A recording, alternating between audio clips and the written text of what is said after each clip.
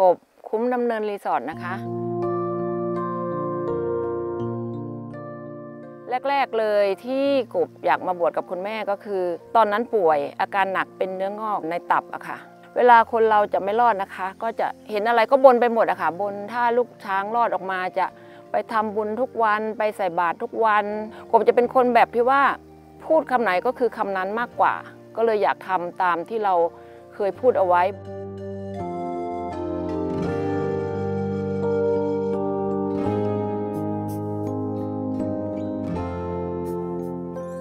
ก่อนที่จะมาบุกเบิกบ้านไม้สักเลยคุยกันกับคุณแม่ไว้ว่า คุณแม่คะ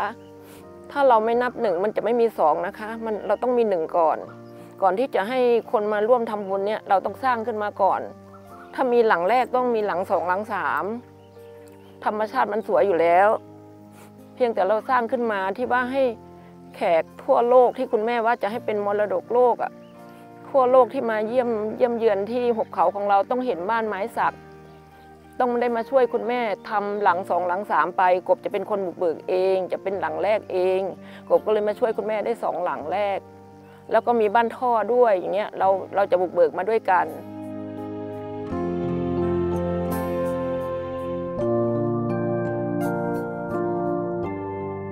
แบบที่แรกท่านบอกว่าอยากได้กุฏิเหมือนเหมือนเหมือนฝั่งฝั่งเล็กใช่ไหมคะ แต่ทีนี้พอดีฝั่งเล็กเรามองเห็นว่ามัน มันน่าจะอยู่กับหุบเขาไม่ได้นาน เพราะมันเป็นเป็นเป็นไม้สนนอกอะค่ะอาจจะอยู่ไม่นาน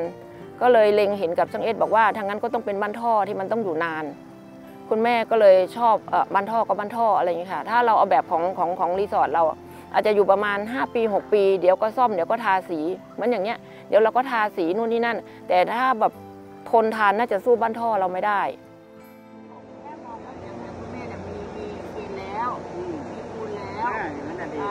ก็เอาถ้าเราทำฐานรากเราที่ที่ป่วยนะใช่แล้วก็เรา ไม่เรายากเลยแต่ฐานเราต้องเอาวัตถุดิบของเราเนี่ยมาทำ ใช่แล้วแล้วของจันเอ็กก็มีแค่ออกแบบมา แล้วก็ให้คนงานมาทำ ถูกถูกมาทำโครงประสกอร้าบงการให้ มันก็จะถูกลงอ่า ใช่ครับ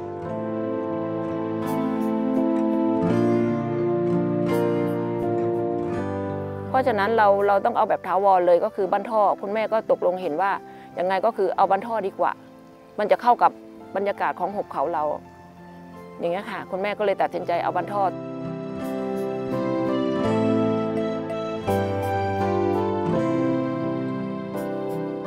เข้าใจเข้าใจคุณแม่มากเลย ตอนนั้นเข้าใจว่าคุณแม่ป่วย คุณแม่กับท่านก็คงจะรู้ว่าท่านก็คงจะอยู่กับเราไม่ได้นาน ท่านก็เหมือนกับกบป่วย กบก็ไปผ่าตัดเนื้องอกในตับเหมือนกัน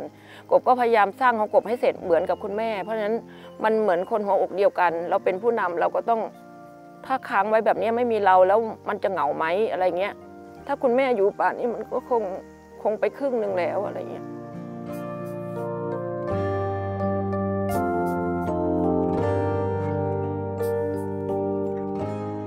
ตอนที่มาทำในครัวนั้นตอนนั้นเราเรามาเห็นท่านแม่ชีท่านท่านก็เยอะนะคะ ตั้ง 40-50 องค์นะคะ ก็ก็เห็นว่ามันห่างไกลจากหมู่บ้าน กว่าจะไปบินทบาทมาได้นู่นนี่นั่นอะไรเงี้ยก็มองเห็นว่าเฮ้ยเราก็มีเซฟอยู่มีครัวอยู่ แล้วช่วงนี้โควิดด้วย เราก็เอามาช่วยคุณแม่สักเดือนสองเดือนก่อนที่โควิดจะหายดีกว่า เรามาทำบุญด้วยถือว่าอะไรด้วย ก็ถือว่าช่วยคุณแม่ด้วย แล้วก็เกณฑ์ลูกน้องมา ตอนนั้นก็แฮปปี้กันดีก็นึกถึงบรรยากาศเก่าๆ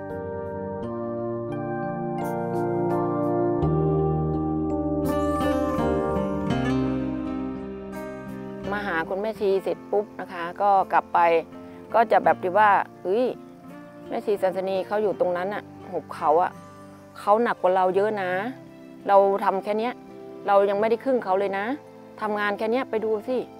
เขาก็น่าจะได้อะไรไปหลาย ๆ อย่าง ทุกอย่างก็น่าจะดีดีขึ้นกว่าเดิม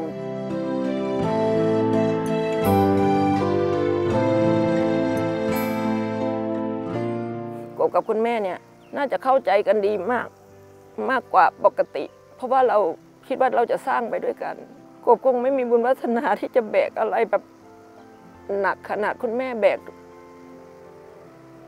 ถ้าไม่มีบุญวาสนากบคิดว่ากบเป็นแค่แรงเล็ก ๆ ไว้ไว้ไว้คอยอยู่เบื้องหลังคุณแม่อย่างเงี้ยค่ะ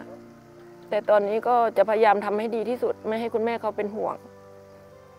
ตอนนี้คุณแม่อาจจะนั่งมองดูกบอยู่ก็ได้อะไรเงี้ย